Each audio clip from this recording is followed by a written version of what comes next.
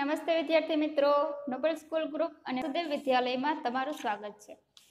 આપણે ધોરણ સાતમાં રિવિઝનની અંદર એક્ટિવિટી ફાઇવ સુધી જોઈ ગયા છે. આપણે અત્યારે આપણે જોવાની છે એક્ટિવિટી સિક્સ તો એક્ટિવિટી સિક્સ જોઈએ તો શું કરવાનું છે? એમાં એક ગેમ રમવાની છે. ગેમ છે one plus one plus one બરાબર એક. તો આ ગેમ છે તે આપણે આમાં રમી ન શકીએ, પણ આપણે સમજી લઈએ કે ગેમમાં છે. તે શું કરવા માગે છે? તો વિદ્યાર્થી મિત્રો, નીચેની સૂચના વાંચો અને શિક્ષકની મદદ લીધા વગર સૂચનાઓ સમજો અને તે પ્રમાણે કરો. તમારે સૂચના વાંચવાની છે અને તેમાં જે આપેલી છે સૂચના તે પ્રમાણે તમારે કરવાનું છે. શું કરવાનું છે? Make a group of three friend કે ત્રણ મિત્રોનું ગ્રુપ બનાવવાનું છે. Take one A four size paper foolscap paper કે તમારે છે એ ફોર સાઇઝના પેપરના ટુકડો લેવાનો છે. Cut the paper into three equal parts કે તમારે છે એ આ જે એ ફોર સાઇઝનો ટુકડો છે તેને ત્રણ ઇક્વલ એટલે કે સરખા ભાગમાં વહેંચવાનો છે. ત્યાર પછી શું કરવાનું છે? Give number one two three to each piece કે દરેક પીસને નંબર આપવાનો છે. શું નંબર આપવાનો છે? એક, ત્રણ પીસ કરવાનું છે તો કે એક, બે અને ત્રણ. એ રીતના નંબર આપવાના છે.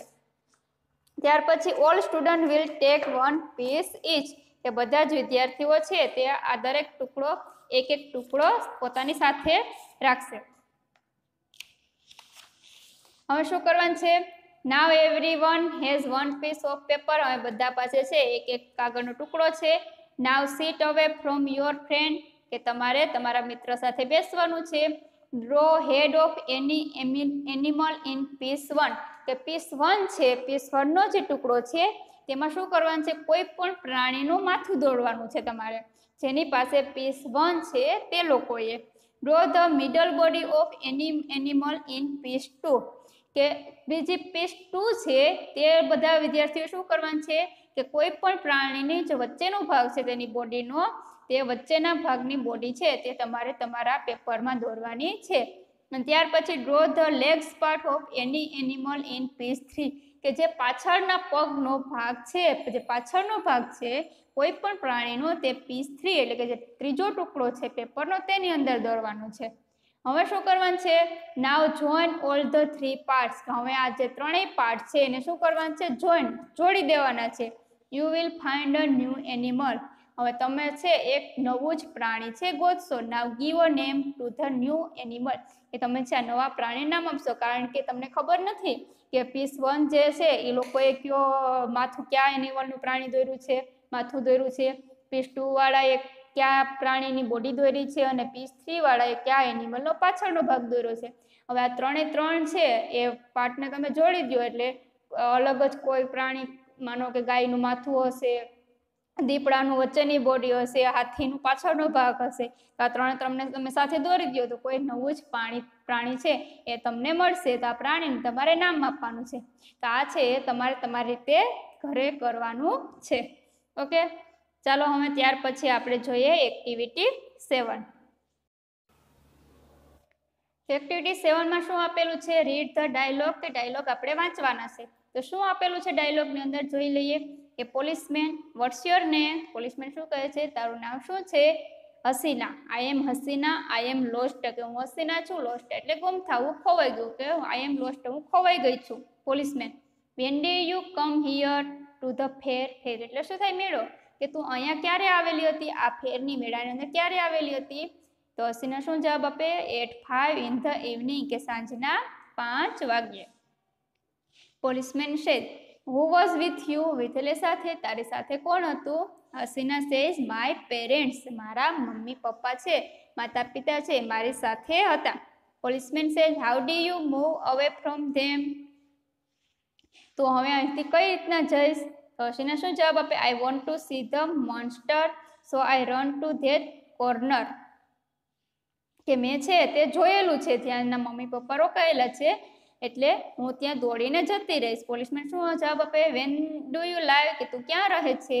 હસીના સેઝ ઇન આઝાદનગર, કે હું આઝાદનગરમાં રહું છું. Policeman says come along I will take you there કે મારી સાથે આવ, હું તને છે તે ત્યાં છોડી દઈશ, લઈ જઈશ. Hasina says thank you sir કે તમારો આભાર સર હવે આ જે એક્ટિવિટી સેવન આપેલી છે, તેને આધારે આપણે કરવાનું છે આગળનું પેરેગ્રાફ એક બનાવવાનો છે. તો ચાલો જોઈએ આ એક્ટિવિટી સેવનની અંદર જે પેરેગ્રાફ બનાવવાનો છે તે. તો repeat the dialogue in the form of a paragraph આ જે ડાયલોગ પોલીસમેન અને હસીના વચ્ચે ડાયલોગ છે ને એક પેરેગ્રાફ સ્વરૂપે લખવાનો છે. તો પેરેગ્રાફની શરૂઆત આપણને કરી દીધી છે કે last week there was a fair at Vadodara કે છેલ્લા લગ્યા અઠવાડિયે વડોદરામાં એક ફેર હતો.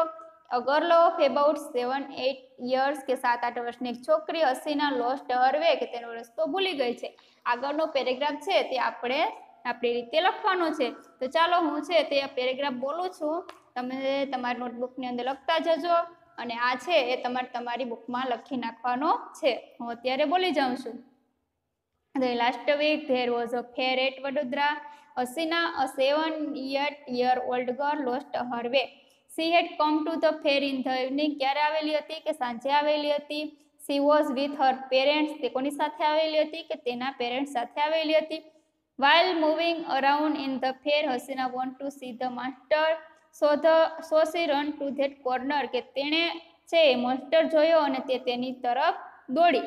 She move away from her parents કે તેના પેરેન્ટ્સને તે મૂવ એટલે કે તેને ગોતવા માટે ઘણી બધી ફરી. She was so busy looking at the mustard that she did not realise that she was separate from her parent કે તે આ જે મોસ્ટર છે તેને જોવા માટે એટલી બીજી થઈ ગઈ કે તેને એવું ભાન જ ન રહ્યું કે તેના પેરેન્ટથી તે અલગ પડી ગઈ છે. સી વોઝ લોસ્ટ કે તે ખોઈ ગઈ છે. લકીલી અ પોલીસમેન સો હર કે ભાગથી કે પોલીસમેન છે તેને જોઈ ગયા. He ask her where she live કે તે તેને પૂછે છે કે તું ક્યાં રહે છે? Hasina told him that she live in Azadnagar Hasina તેને કહે છે કે તે આઝાદનગરમાં રહે છે. તો policeman decide to take her home policeman નક્કી કરે છે કે તે તેના ઘરે પહોંચાડી દે છે હસીના વોઝ હેપી હસીના ખુશ થઈ ગયા, જાય છે. She thank the good policeman કે તે આ ગુડ પોલીસમેન છે, તેનો આભાર માને છે. તો આ પેરેગ્રાફ છે, તમારે હોમવર્કની અંદર, તમારી નોટબુકની અંદર લખી નાખવાનો છે. Okay thank you